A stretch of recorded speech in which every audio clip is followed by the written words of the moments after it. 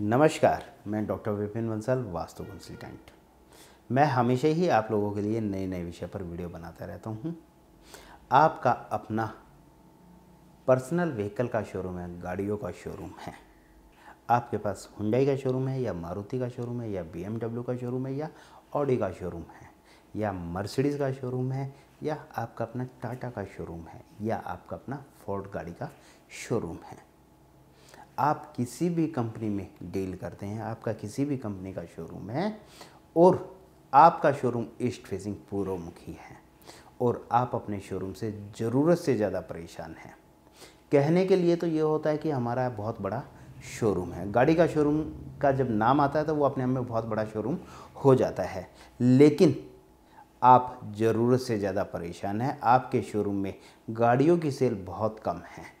आपके शोरूम के हर महीने के खर्चे भी पूरे नहीं होते। आपको अपने शोरूम के खर्चे मीट करने के लिए अपने यहाँ दूसरी जगह से जो आपका काम चल रहा है, वहाँ से पैसा निकाल कर यहाँ के खर्चों को मीट करना पड़ता है। आप अपने शोरूम को लेकर ज़रूरत से ज़्यादा परेशान हैं और आपको कहीं से कोई रास्ता नज़र नहीं आ रहा है तो मैं आपको कहना चाहूँगा कि आपका अपना शोरूम ईस्ट फेसिंग है तो आपको अपने यहाँ पर गाड़ियों के सेटअप को सही करना है।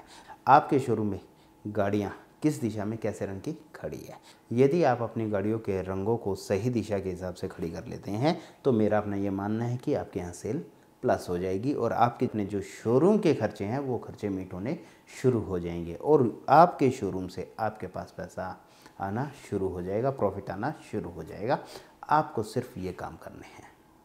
सबसे पहले तो ये देखिए कि आपका शोरूम ईस्ट फेसिंग है। जैसे आप अपने शोरूम में एंट्री करते हैं तो आपके शोरूम की एंट्रेंस ईस्ट सेंटर से हैं और आपके राइट में भी और लेफ़्ट में भी और सामने भी गाड़ियाँ डिस्प्ले में लगी हुई है। यदि आपके यहाँ नॉर्थ में रेड कलर की या ऑरेंज कलर की गाड़ी खड़ी हुई है तो मेरा अपना ये मानना है कि आपके यहाँ सेल अच्छी नहीं हो सकती। जितना कस्टमर आपके यहाँ आता है, ज़्यादातर कस्टमर आपके यहाँ से खाली हाथ लौट जाता है।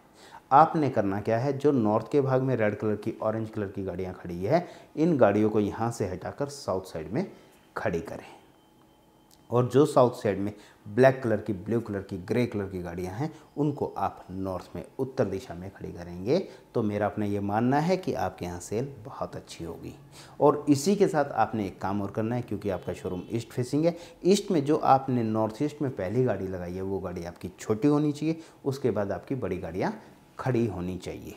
जो आपके गेट के ठीक सामने बैक साइड में गाड़ियाँ डिस्प्ले में लगी हुई है, वहाँ पर आपकी वाइट कलर की सिल्वर कलर की गाड़ियाँ खड़ी होनी चाहिए। और जितनी बड़ी गाड़ियाँ आप वेस्ट जोन में और साउथ जोन में खड़ी करेंगे तो मेरा अपना ये मानना है कि आपकी सेल प्लस होती चली जाएगी। आपका अपना शोरूम ईस्ट फेसिंग पूर्वमुखी है और वहाँ पर आपने रेड कलर का कारपेट या ब्लू कलर का या ब्लैक कलर का कारपेट बिछाया हुआ है तो मेरा अपना ये मानना है कि आपकी सेल ज़्यादा अच्छी नहीं हो सकती।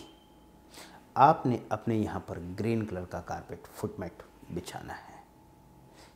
ऐसा करने से भी आपकी सेल, आपकी गाड़ियों की सेल प्लस हो जाएगी। जो खर्चे आपके ये शोरूम मीट नहीं कर रहा, वो खर्चे मीट होने शुरू हो जाएँगे और इसी के साथ इस शोरूम से आपको प्रॉफिट मिलना भी शुरू हो जाएगा। सिर्फ़ आपने अपने यहाँ पर ये छोटे छोटे उपाय ज़रूर करने हैं।